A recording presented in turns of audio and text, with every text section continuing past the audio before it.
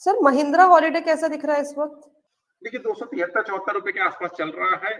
In fact जो hotel stocks है, जो हॉस्पिटलिटी इंडस्ट्री से रिलेटेड में, वो नवंबर का मैंने बोला हुआ है कि आप 12 से 15 नवंबर तक एक बार थोड़ा सा आप होल्ड करो। इस बीच में जो है, वो कहीं ना कहीं कंसोलिडेशन फ़ेज़ है। एक रैली जो थी, वो रुकावट कहीं ना कहीं एक आएगी, एक पॉज बना हुआ है। बट हाँ अब चूँकि नवंबर पंद्रह तक के बीच में अब ज़्यादा टाइम नहीं है, मुश्किल से दस दिन है। आप इन्वेस्टमेंट करना चाहते हो, आप इन्वेस्टमेंट कर लो। शॉर्ट टर्म इन्वेस्टमेंट अगर मैं बोलूँ नेक्स्ट ईयर के फेब्रवरी मार्च तक में तो ये दो रुपए के आसपास जो अभी चल रहा है ये आपको कहीं ना कहीं तीन सौ चालीस का लेवल दिखा देगा। दस दिन के अंदर में ये रैली स्टार्ट करेगा फिर से बिकॉज़ फिर से अब छुट्टियों की सीज़न स्टार्ट होगी।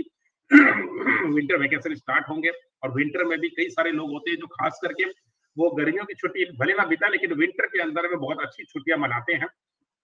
हॉस्पिटलिटी इंडस्ट्री के अंदर में एक अच्छी रैली बनी हुई है।